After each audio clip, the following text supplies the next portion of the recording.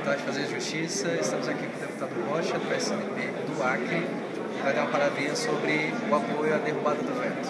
Queria aqui mais uma vez me manifestar é, a favor do judiciário brasileiro, a favor da derrubada do veto 26.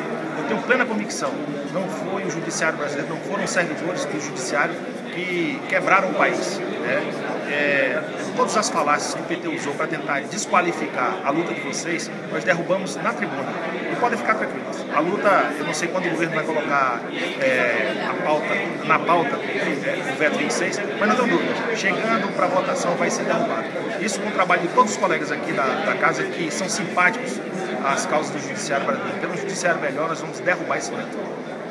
O deputado sabe que 78% é uma mentira, que o impacto de 36 bilhões é uma soma, é contra as pedaladas fiscais. Então, também é contra a pedalada contra o judiciário.